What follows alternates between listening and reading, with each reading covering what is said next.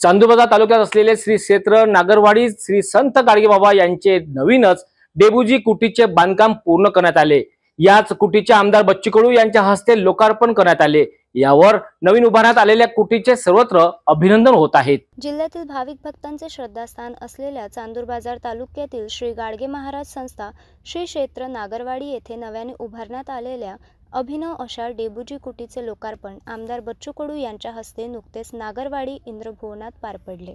यावेळी लोकप्रिय आमदार बच्चू कडू प्रहार शेतकरी संघटनेचे मंगेश देशमुख गाडगे महाराज मिशन मुंबई संचालक सागर देशमुख संचालक गणेश देशमुख गाडगे महाराज समाधी मंदिराचे व्यवस्थापक प्रकाश महात्मे इत्यादींसह परिसरातील नागरिक या लोकार्पण सोहळ्यात उपस्थित होते. कार्यक्रमाच्या शेवटी संस्थेचे सेवक व परिसरातील कार्यरत पोलीस बांधवांचा सत्कार आमदार बच्चू कडू यांच्या हस्ते यावेळी करण्यात आला.